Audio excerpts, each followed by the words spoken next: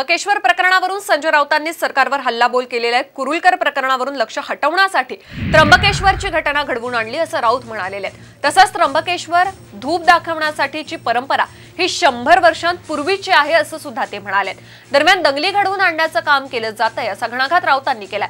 तर बजरंग बलींची गदा मोदींच्याच डोक्यात पडली असं कर्नाटकवरून भाजपवर त्यांनी निशाणा साधलेला आहे.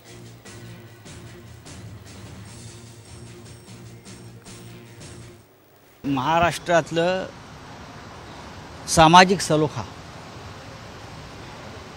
योजनाबद्ध रीतीने बिघडवण्याचे हे खेळ सुरू आहे. आमच्या इतकं कडवट हिंदुत्ववादी या देशात दुसरं कोणी नसेल आम्ही ढोंगी नाही. गेल्या शंभर वर्षापासून ही परंपरा असल्याचं मी माहिती घेतली.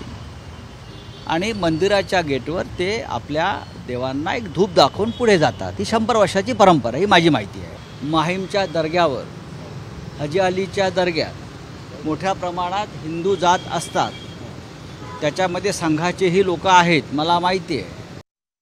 हवाई दलाचे लोक त्यात अडकलेले आहेत आणि हे सगळे संघाशी संबंधित आहेत. हे सगळे भारतीय जनता पक्षाशी संबंध आहेत संबंधित आहेत. नेमा एस आय टी पण त्याच्यावरचं लक्ष विचलित करण्यासाठी तुम्ही त्र्यंबकेश्वर शेवगाव अकोला या दंगली घडवताय. त्र्यंबकच्या निमित्तानं महाराष्ट्राचं वातावरण उद्ध्वस्त करायचं. पुन्हा एकदा नकली हिंदुत्वाच्या नावानं बोंबा मारायच्या टीका करायच्या. रामनवमीच्या संदर्भात आपण यासाठी नेमली का? रामनवमीला कधी नव्हे त्या दंगली झाल्या महाराष्ट्रामध्ये. गेल्या साठ वर्षामध्ये रामनवमीला कधी महाराष्ट्रात दंगल झाली नव्हती. त्याच्यावरती यासाठी नेमली का आपण? कर्नाटक निवडणुका जिंकण्यासाठी सुद्धा शेवटच्या चार दिवसात नरेंद्र मोदींनी बजरंग बलीची गदा फिरवली. ती गदा त्यांच्या डोक्यात बसली.